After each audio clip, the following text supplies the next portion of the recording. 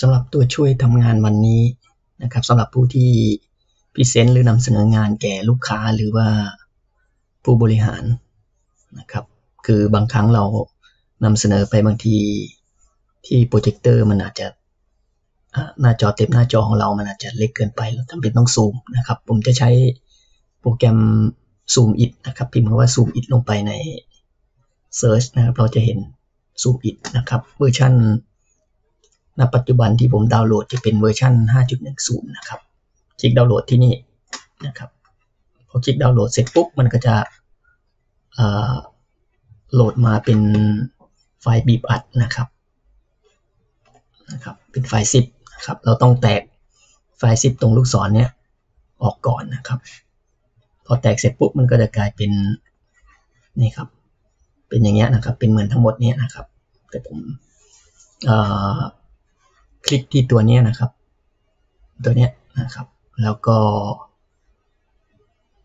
ใช้ตัวนี้ในการทำงานนะครับ พอเรา double click ปุ๊บตรงนี้นะครับ มันก็จะขึ้นเป็น control ดั้งเดิมของมันจะเป็น control หนึ่งนะครับซูมก็คือการซูมแล้วเขียนได้ด้วยนะครับ live zoom ก็จะเป็น control สี่ live zoom ก็จะเป็นซูม แล้วก็เราทำงานที่หน้าจอได้เลย คือขยายและทำการได้จริงนะครับผมไม่ก็ได้ใช้ตัวนี้นะ ผมจะใช้ซูมกับ draw draw ก็จะเป็น control 2ซึ่งผมเปลี่ยนเป็นคอนโทรล F2 นะครับ type ก็ไม่ค่อยได้ใช้เบรกนี่ไม่ได้ใช้หลักๆ ผมใช้ซูมกับ draw นะครับเพื่อนๆเปลี่ยนได้นะ ครั้งแรกมันจะเป็นคอนโทรล1 draw ก็จะเป็นคอนโทรล2ผมเปลี่ยนนะครับ เปลี่ยนก็คืออลบตัวนี้ไปแล้วก็ กด Ctrl แล้วก็ F1 นะครับมันจะเป็นซูมที่ 2 เท่านะครับรอก็ Ctrl F2 นะครับเดี๋ยวผมจะทำให้ดูนะครับว่าเป็นยังไงนะครับยกตัวอย่างนะครับ ถ้า Ctrl F1 นะครับมันก็จะซูมนะครับ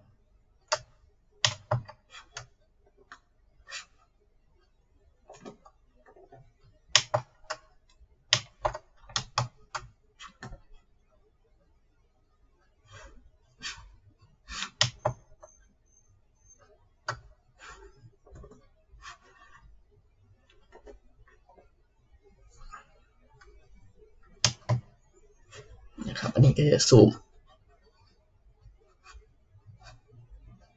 ครับถ้าเราเลื่อนเมาส์ไปเลื่อนเมาส์มา มันก็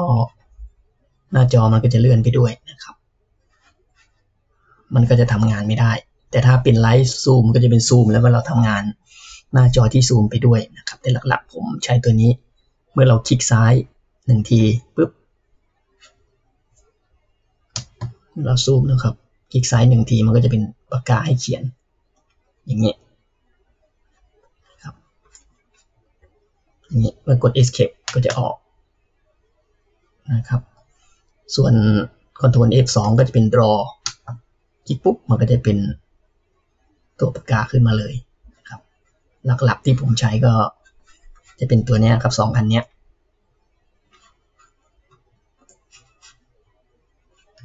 escape ก่อนถ้าจะทำงานต่อไปก็ต้องกด escape เพื่อออก